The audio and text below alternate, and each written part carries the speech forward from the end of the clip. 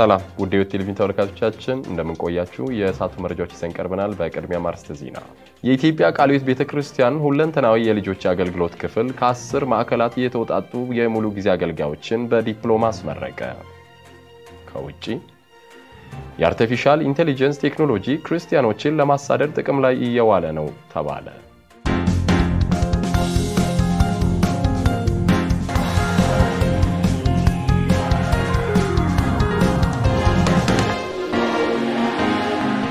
ከመረጃዎቹ ጋር አብሬያቸው የሚቆየው እኔ አስጨናቂ ሀብታሙ ከመላው የሕይወት ቴሌቪዥን የስቱዲዮ ባለሙያዎች ጋር በጋራ በመሆን ነው። አብራችሁን ቆዩ።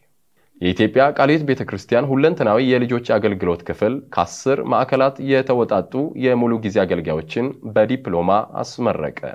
የኢትዮጵያ ሕይወት ቤተ ክርስቲያን ሁለንተናዊ የልጆች አገልግሎት ክፍል ከአስር ማዕከላት የተወጣጡ ከ30 በላይ የሆኑ የሙሉ ጊዜ አገልጋዮችን በዲፕሎማ አስመርቀዋል።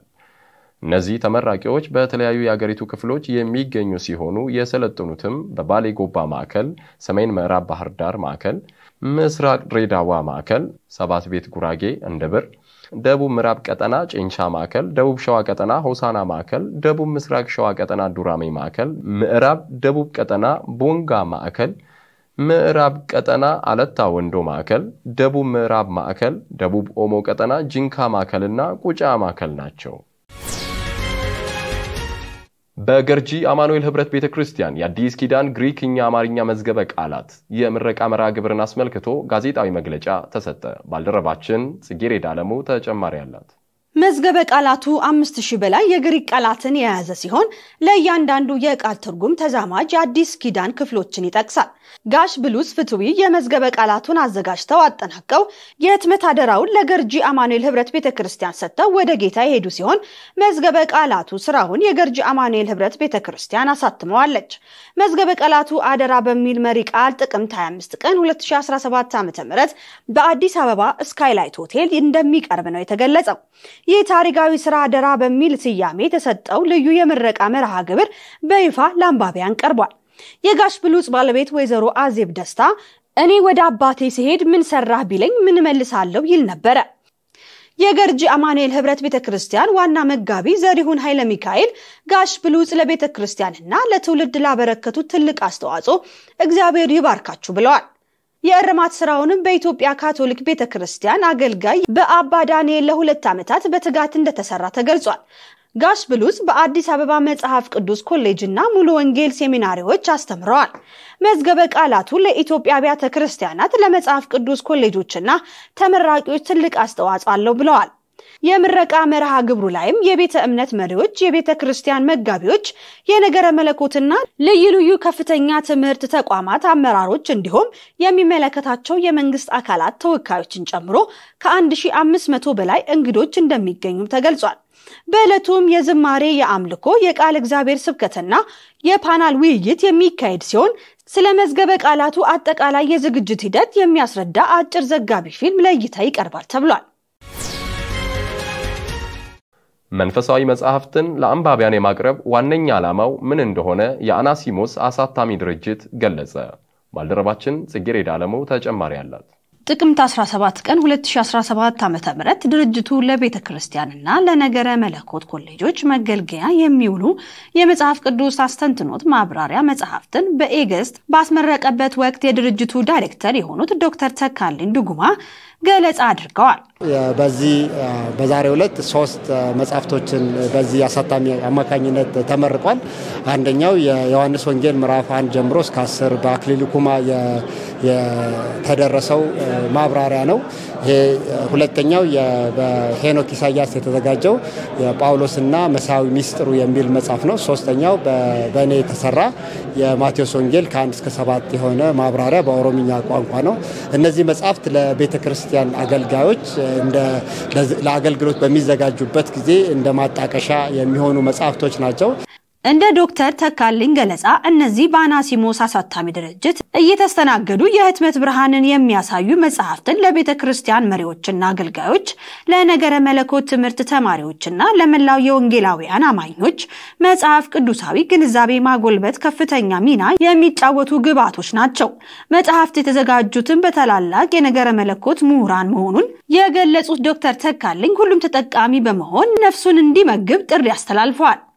እነዚህ መጽሐፍቶች በጣም ወሳኝ ናቸው። መጽሐፍ ቅዱስን የሚተኩ አይደሉም፣ ግን መጽሐፍ ቅዱስን የሚያብራሩ መጽሐፍቶች ናቸው እና አገልጋዮች በተለይ አገልጋዮች ቢጠቀሙባቸው ለስብከቶቻቸው ስብከቶቻቸውን ትምህርቶቻቸውን በሚያዘጋጁበት ሰዓት ቢጠቀሟቸው የበለጠ ይዘት ያለው ስብከት ለማዘጋጀት ይረዳቸዋል። መጽሐፍ ቅዱስን የበለጠ ለመረዳት የሚያግዛቸው ይሆናሉ ብለን እናስባለን።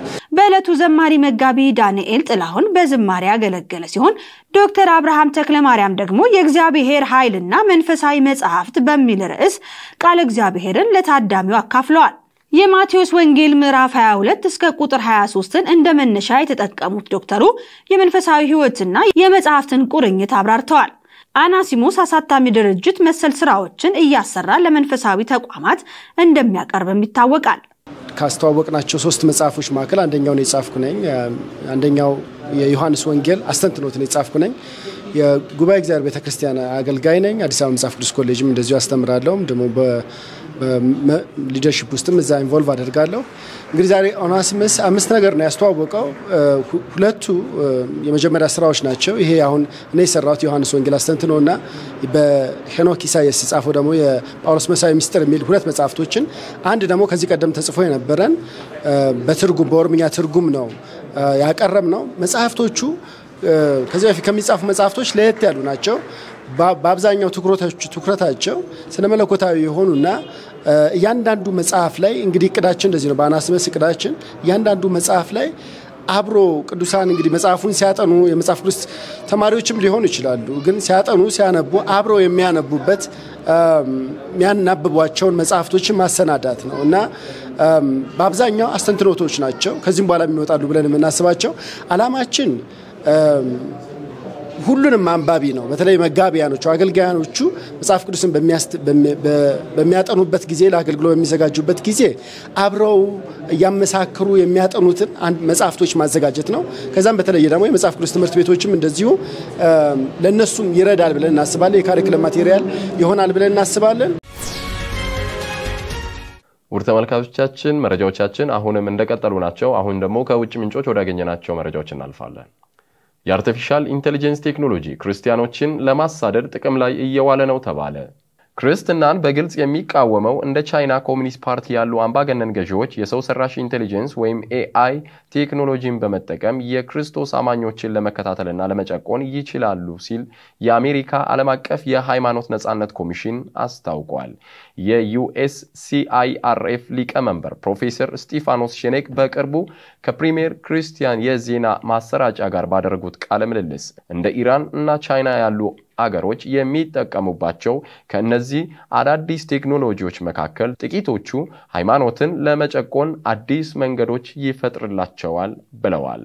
ፕሬዚደንቱ በቻይና ውስጥ የፊት ለይቶ ማወቂያ ቴክኒኮችን የቻይና ኮሚኒስት ፓርቲ በሃይማኖታዊ ስነ ስርዓቶች ላይ የሚገኙትን ሰዎች እንዲከታተል ያስችለዋል። እነሱን ለመከታተልና ከዚህ በፊት ከነበረው በላይ እንዲጨቁኑ ያስችላቸዋል። ተመሳሳይ ቴክኖሎጂዎች በዓለም ዙሪያ ይገኛሉ ሲሉም ተናግረዋል። ሃይማኖት በመሰረታዊነት ለአምባገነን መንግስታት ተፈጥሯዊ ፈተና ነው ሲሉም አክለው ተናግረዋል። በተመሳሳይ Global Christian Relief የተሰኘ ተቋም AI ዓለም አቀፍ ስደትን ሊያቀጣጥል ይችላል ያላቸውን አምስት መንገዶች ሲያስቀምጥ በቀዳሚነት የፊት ለይቶ ማወቅ ወይም facial recognition በቀዳሚነት አስቀምጧል። ዘገባው የ Premier Christian News ነው። ውድ ተመልካቾቻችን ለዕለቱ ከያዝናቸው መረጃዎች ወደ መጨረሻው የውጭ መረጃ ስናልፍ በህንድ ህንፃ ተከራይቶ የራሱን ፍርድ ቤት የከፈተው ግለሰብ በቁጥጥር ስር ዋለ። ባልደረባችን ሮማን ከሊል ተጨማሪ አላት። ይግባኝ የጠየቀ ባለ ጉዳይ ግን ሐሰተኛ ፍርድ ቤት ከአምስት ዓመታት አገልግሎት በኋላ እንዲጋለጥ አድርጎታል። በጉጃራት ህንፃ ተከራይቶ የጋንዲናጋር ወረዳ ፍርድ ቤት የከፈተው ሐሰተኛ ዳኛ ሞሪስ ክርስቲያንም ይባላል። ህጋዊ ጉዳዮች እንዲከናወን ምንም አይነት ፍቃድ የሌለው ክርስቲያን ጓደኞቹን ጠበቃ አድርጎ ቀጥሮ እንደነበረም Indian Times አስነብቧል። በአህመዳባድ ከተማ ማዘጋጃ ቤት ጉዳይ ያሳለፈው ውሳኔ ግን የግለሰብ ፍርድ ቤቱ ከአምስት ዓመት በኋላ እንዲጋለጥ አድርጎታል። ከ11 ሚሊዮን ዶላር በላይ የሚያወጣ መሬት ከማዘጋጃ ቤት ተነጥቆ ለከሳሾች እንዲተላለፍ ያሳለፈው ውሳኔ ይግባኝ ጠይቆበት በከፍተኛ ፍርድ ቤት ሲታይ ነው ጥርጣሬው የጀመረው። በተደረገው የማጣራት ስራም ፍርድ ቤቱ ምንም አይነት ፍቃድ በሌለው ዳኛ የተከፈተና ጠበቃ ተብለው የተቀጠሩትም የሞሪስ ክርስቲያን ጓደኞች መሆኑንም ይደረስበታል።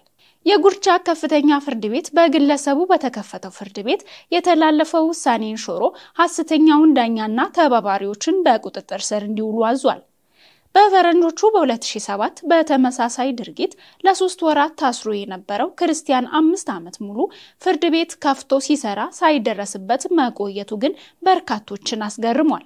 ግለሰቡ የዓለም አቀፍ Bar Council አባል ነኝ፣ በሕግ ዲግሪ አለኝ ቢልም የተባለው ምክር ቤት የሌለና የትምህርት ማስረጃዎቹም ሐሰተኛ መሆናቸው የተገለጸው ሐሰተኛው ዳኛ ሞሪስ ክርስቲያን መልካም ሰዎች ወደ እስር ቤት ይወረወራሉ፣ የሰዎችን ችግር በመፍታቴ ብቻ የእኔን ዕጣ ፈንታ እስር ቤት ሆኗል ብሏል። መረጃውን ከአል ዐይን አማርኛ ያገኘነው ነው። ውድ ተመልካቾቻችን የዕለት መረጃዎቻችን የተከታተላችሁትን ይመስል ነበር። መረጃውን በመምራት አስጨናቂ ሀብታሙ ከመላው ቴሌቪዥን የስቱዲዮ ባለሙያዎች ጋር በጋራ በመሆን ቆይታ አደረግኩኝ። ከቀሪ የህይወት ቴሌቪዥን ፕሮግራም መሰናዶ ጋር